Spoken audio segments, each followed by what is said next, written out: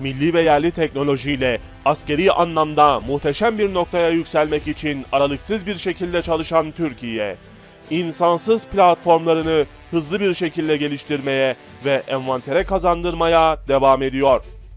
Bu kapsamda milli ve yerli imkanlarla geliştirilen bir diğer insansız araç platformu tamamlandı ve Türk Silahlı Kuvvetleri'nin envanterine kazandırıldı.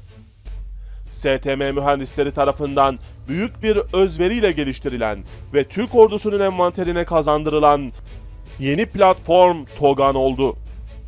STM tarafından keşif, gözetleme ve istihbarat amacıyla geliştirilen TOGAN en sonunda Türk ordusuna teslim edildi.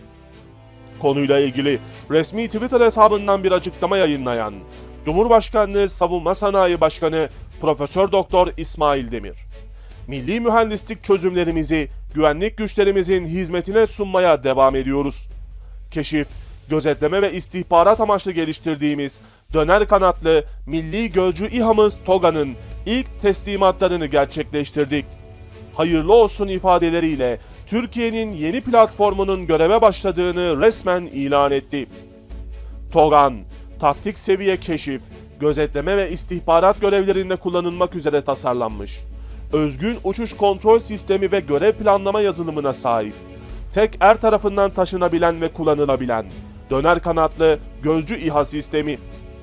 TOGAN, STM tarafından geliştirilen uçuş kontrol, görev planlama ve hedef tespit sistemleri vasıtasıyla diğer STM platformlarıyla müşterek olarak görev yapabilmekte. Sistem, ileri seviye elektrooptik ve kızılötesi kamera sistemleri vasıtasıyla 30 kata kadar yakınlaştırmayla hem optik hem de fiziki hedef takibi kabiliyetine sahip. TOGAN, uçuş kontrol bilgisayarı ve müşterek yer kontrol istasyonu vasıtasıyla birden fazla platformla otonom şekilde havada görev değişimi ve devri kabiliyetine sahip olup operatörle kesintisiz ve uzun süreli gözetleme kabiliyeti sunmakta. TOGAN platformları müşterek yer kontrol istasyonu yazılımı vasıtasıyla STM'nin taşınabilir vurucu İHA sistemlerine gerçek zamanlı otomatik hedef bilgisi aktarabilecek şekilde tasarlandı.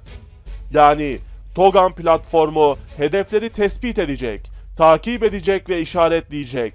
Hedef bilgisini havadaki kargo ve alpago kamikaze dronlara aktaracak ve Türk kamikaze drone sürüsü ise düşman hedefleri eliyle bulmuş gibi nokta atışı imha etme kabiliyetine kavuşacak diyelim. Vatana millete hayırlı olsun. Başka bir videoda görüşmek üzere. Kendinize iyi bakın. Hoşçakalın.